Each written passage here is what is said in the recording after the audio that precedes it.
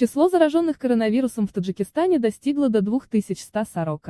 Минздрав Таджикистана представил новую статистику по больным коронавирусом. Душанбе, 20 мая, спутник. В Таджикистане зафиксирован резкий прирост больных коронавирусом, сообщили в пресс-службе Министерства здравоохранения и социальной защиты населения республики. По данным ведомства, за сутки в Таджикистане выявили 204 новых случая заражения коронавирусом. Таким образом, по данным на 20 мая, общее число больных перевалило за 2000 и составило 2140 пациентов. Под медицинским наблюдением с подозрением на коронавирус остаются порядка 3,5 тысячи граждан. В Минздраве добавили, что второй день подряд в республике не регистрируются летальные исходы от инфекции.